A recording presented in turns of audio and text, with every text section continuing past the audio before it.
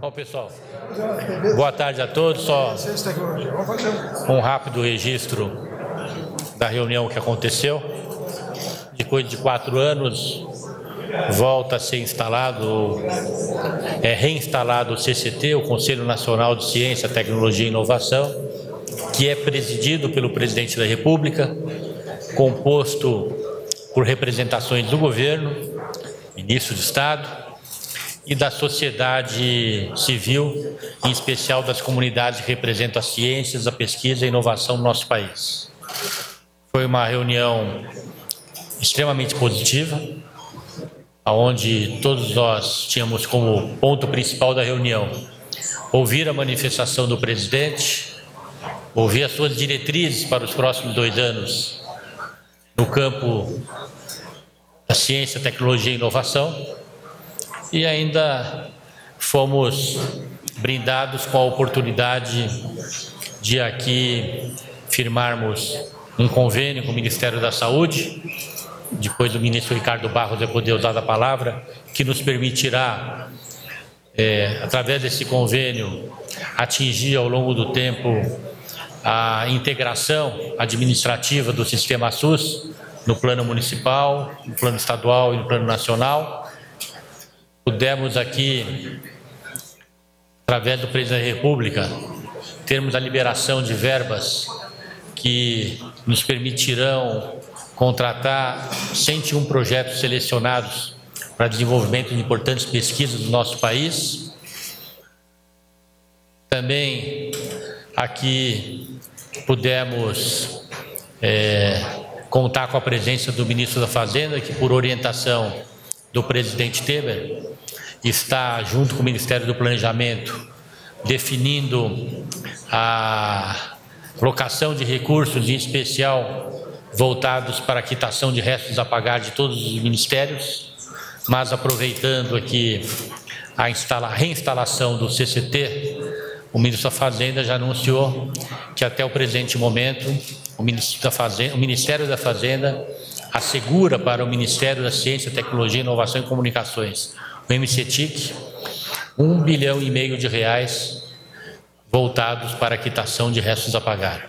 Então, até o presente momento, isso é muito positivo esperamos que possam vir mais recursos ao longo das próximas semanas ou dos próximos meses que nos permitam avançar mais ainda na questão de restos a pagar. Enfim, eram esses os temas aqui abordados. Eu quero convidar o ministro Ricardo Barros que vai também aqui falar um pouco desse convênio assinado. E depois eu vou convidar o Mário, que é o presidente do CNPq, para aqui falar do que são essas 101 pesquisas, 101 projetos que serão liberados no seu início a partir de agora. E a palavra aberta aqui para os nossos secretários que estão à disposição de vocês, assim como eu, para outros temas da área. Ricardo Barros apenas é, comemorar a assinatura de um termo de cooperação que fizemos com o ministro Kassab, com o Ministério de Ciência e Tecnologia, com recursos do ponto com, que não são recursos públicos, mas que servirão para fazer um programa de conectividade federal, estadual, municipal de todas as ações de saúde, atenção básica, hospitalar, ambulatorial. Isso nos permitirá ter controle absoluto de, toda a, de todo o prontuário eletrônico, da ficha médica de cada cidadão brasileiro, para que ele tenha a sua disponibilidade, evidentemente com a reserva que cabe a cada um desses dados, e que ele possa ser atendido em qualquer unidade de saúde, onde o médico acessará o seu prontuário eletrônico, terá todas as informações, evitará repetição de exames, dispensação de remédios que já tenham sido eh, colocados à disposição desse cidadão brasileiro. Com isso, expectativa de economia muito grande, otimização dos recursos da saúde e na parceria com o Ministério da Ciência e Tecnologia, nós podemos fazer, a partir desta informação disponível, o planejamento, a gestão, a continuidade da austeridade com que temos eh, administrado o Ministério, da economia que podemos fazer, de muitos bilhões de reais que serão reaplicados em mais recursos de saúde. Portanto, um termo de cooperação importante de eh, tecnologia de informação para a saúde que melhorará a vida de todos os brasileiros. O data para o início dessa conectividade eh, no nosso cartão SUS é 10 de dezembro, onde todos os municípios devem disponibilizar as suas informações através do ESUS AB, mas com o avanço dessa parceria nós teremos uma solução integrada capaz de nos dar um mapa perfeito da saúde dos brasileiros e saberemos, então, em tempo real, como é investido cada real do SUS na saúde dos brasileiros. Esse é o desafio e é o que nós juntos vamos conseguir fazer. Muito obrigado. Obrigado, ministro Ricardo. Agora eu vou pedir para o Mário, presidente do CNPq, que vai, de uma maneira bastante resumida, colocar o que será esse trabalho iniciado a partir de agora e a importância também da quitação dos 89 milhões na questão universal. Bom, é, foi muito importante que nessa reunião da revitalização do CCT, do Conselho Nacional de Ciência e Tecnologia, o, o, presidente pudesse também, junto com o ministro Kassab, anunciar a liberação do resultado do programa INCTs Institutos Nacionais de Ciência, Tecnologia e Inovação. Esse é o maior programa brasileiro de investimento em pesquisa. São 101 projetos que representa um investimento de 650 milhões de reais. Metade desse recurso é federal e metade das fundações estaduais de amparo à pesquisa. Está aqui o presidente do Conselho Nacional das Fundações Estaduais de Amparo à Pesquisa, que aporta metade dos recursos. É um programa de ponta, são pesquisadores né, de maior qualificação do Brasil, de nível internacional, e que vai permitir, inclusive, ao Brasil fazer parcerias internacionais para captação de recursos, como já começamos a negociar com o Reino Unido através do Fundo Newton.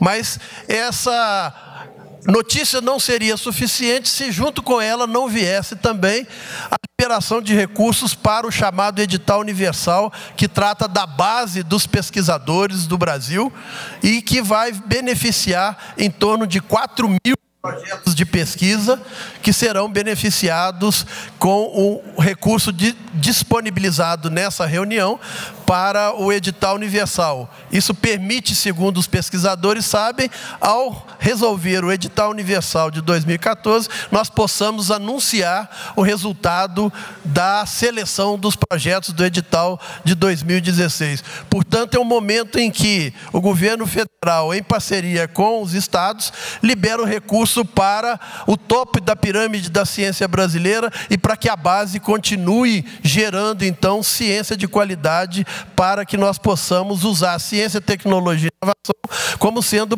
principal pilar para o desenvolvimento sustentado do Brasil. Portanto, nós estamos muito felizes de trazer essas notícias para toda a sociedade brasileira aqui hoje. E complementando que, estando com o ministro da Saúde, não existe nada mais relevante na ciência do que aplicar a ciência para resolver os problemas de saúde pública no Brasil. Portanto, é uma aliança muito importante que nós estamos anunciando aqui hoje. Muito obrigado. Obrigado, Mário. Estamos à disposição, se nada mais. Desde quando o conselho estava desativado e além desses 1,5 milhões em resto a pagar e dos 650 desses INCTs, tem algum outro recurso? Eu falou em liberação de verbas, de quanto? Obrigado.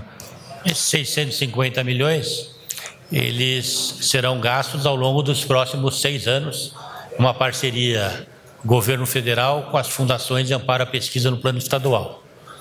É, um bilhão e meio de reais liberados imediatamente para a questão dos restos a pagar.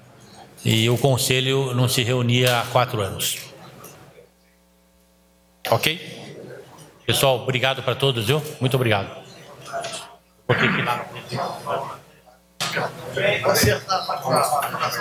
No um abraço.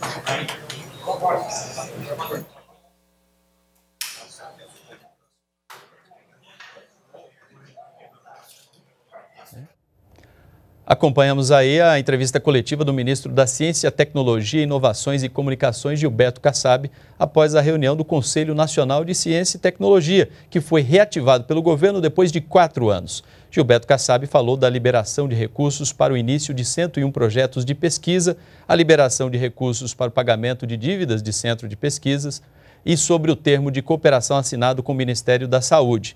O ministro da Saúde, Ricardo Barros, também participou da entrevista coletiva e destacou a importância da cooperação do Ministério da Ciência, Tecnologia, Inovações e Comunicações para a instalação do prontuário eletrônico no Sistema Único de Saúde, o que vai resultar em maior eficiência e economia para os cofres públicos. Nós ficamos por aqui e podemos voltar a qualquer momento com outras informações do governo federal. Continue com a gente. NBR, a TV do Governo Federal.